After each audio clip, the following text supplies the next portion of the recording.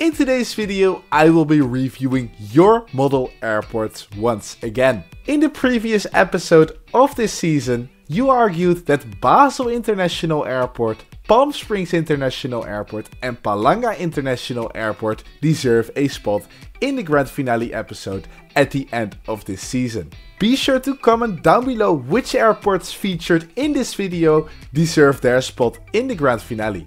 In about two days, on November 17th, I will close the registration form for Season 4 Model Airport Reviews. So be sure to register your airport using the link down below. Now let's get to airport number 1. The first airport of today is Kota Kinabalu International Airport located in Malaysia. And I think this 1 to 400 scale airport looks absolutely lovely. It's incredible to see how the runway and taxiways are lit up and also the floodlights and the lights inside the terminal add such a cool effect. He has got a lovely variety of Asian airlines on this airport and at every gate there is loads of ground service equipment around the aircraft creating a lot of realism.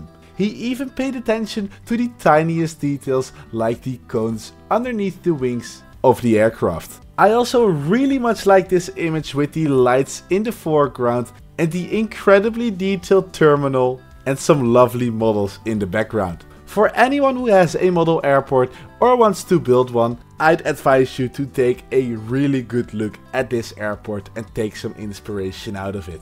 There is so much detail on here and it looks absolutely incredible. And in my opinion, definitely grand finale worthy. Here is Tinyport International Airport located in Amsterdam, the Netherlands. He's come a long way in the grand finale in the previous seasons, and it seems he's upgraded his airport once again. Behind the terminal he added some country flags, which look very very lovely. On the airport apron he has got some lovely bottles, around which is a lot of ground service equipment. Something which I very much like about this airport are the different tints of grey on the ground. Here at the aircraft stands he has got a light tint of grey and the runway has got a very dark asphalty tint of grey. In between on the taxiway he has got once again another tint of grey and I very much like the variation in paint colors here. Overall I think Tinyport Airport very nicely improved this airport once again. And if you think he deserves a spot in the grand finale once again,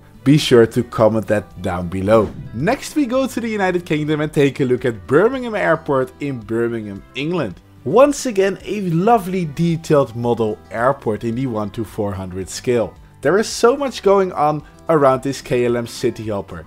And he has even got airport workers around the aircraft. It seems like the ground service equipment is 3D printed, but I love to know whether this is right because I think it's really hard to 3D print these people. The scenery around the airport looks absolutely fantastic. On the modeling grass he has got trees and grass tufts. And I think the background here with the hills also adds a really nice effect on the photographs. I also really really much like this image of his airport.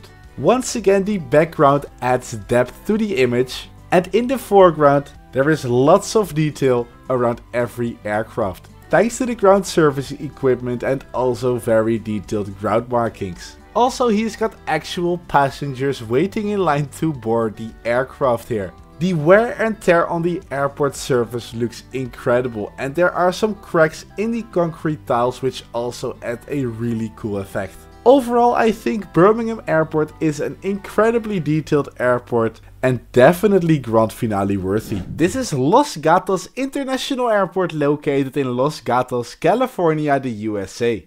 And I think it's a lovely model airport with an awesome layout. In the center he has got a runway and on each side of the runway are aircraft stands. The details are awesome and I think the ground markings look greatly detailed. Two cool features here are the flags and the ILS box which he has. And here at the aircraft stands he also got floodlights. And in the background of the Spirit he has got a cool windsock which I think he created out of Legos. Overall I think we're looking at a very complete model airport. With an awesome layout and a lot going on on the whole airport. Next we go to Canada and take a look at Feds Regional Airport. It's a very compact but lovely model airport for a few reasons. First of all here on the runway this Air Transat is landing which you can see from the smoke here coming off the tires which is a really cool detail. Also it's cool to see that he lifted up the nose. Also, he has got ground service equipment and cones on the airport, which is a very awesome detail.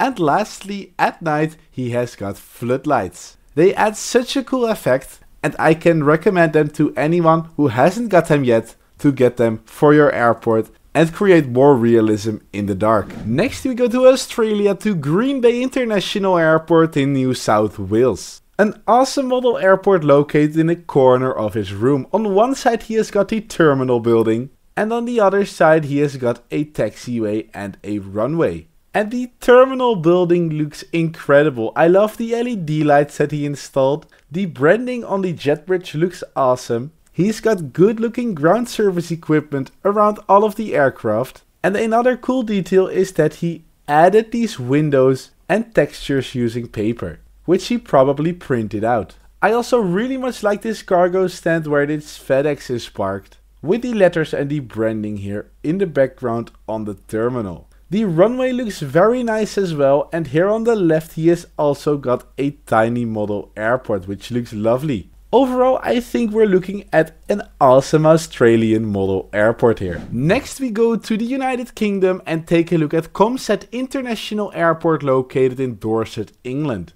On the left here he has created awesome scenery with water and then trees and bushes next to it. Also he created some country flags which is a lovely detail to see. Moving to the airport then he has got some great variety of model aircraft and around all of the aircraft is a bunch of ground service equipment. This ground service equipment he has folded out of paper which is a really budget friendly option. I will put a link in the description to this website where you can download your own paper ground service equipment yourself for free. Thanks to the creator Little Model Airport on Instagram, you can have access to baggage equipment, pushback trucks, fire trucks, and literally anything you need for an awesome model airport. So be sure if you don't have any ground service equipment yet to check him out and download your GSE now. This is Gold Coast International Airport located in the Australian Gold Coast. A small airport fully made out of paper. In terms of ground markings I think he's done an awesome job. Taxiway signs, gate numbers and even fuel spots in the ground make this airport look quite realistic. At night he installed some lighting which is really cool to see. And the aircraft on the airport he fully handmade using paper. The final cool detail is that he actually created an interior for the terminal as well. Which makes Gold Coast an awesome paper-based model airport. Next we take a quick look at Dubai International Airport, of course in Dubai the UAE. And I think I have two big tips for this 1 to 400 scale airport. He's created an awesome airport with the very iconic looking terminal and a great variety of model aircraft. Though my tip for you would be to work neatly. The shapes in which you cut out the sand in between the runways can be way neater and more round following the curvature of the taxiway outlines. And talking about those taxiways, I think if you planned the taxiways a bit more ahead before you started drawing, I think you could have made them a bit neater. So you could consider creating them again. Here we have Europe Air Force Base located in Germany. A 1 to 72 scale airport featuring several fighter jets and a heli. The scenery looks cool and I like the fence he has created on the edge of the runway. Another cool detail is that because it's scale 1 to 72, he actually has people marshalling the aircraft to its parking position. I hope you can add more ground service equipment in the future as I think in scale 1 to 72 you can do incredible things as the aircraft are quite large. This is Dubai International Airport once again though this has been created by somebody else and it's a 1 to 400 scale airport made fully out of paper. He's nicely added a bunch of ground markings to his airport. And also the iconic terminal is nicely recreated. He's got a bunch of Emirates A380s on the airport, which of course cannot miss on Dubai Airport. My big tip for you would be to color the ground, which is now white, a tint of grey or darker grey, just like you've done with the runway. I'm sure this way your airport will look much more realistic and even better than it already does. Next up going to India to Chandigarh International Airport, set to be built for only 10 euros. I like all of the ground service equipment around this Etihad Airbus A380.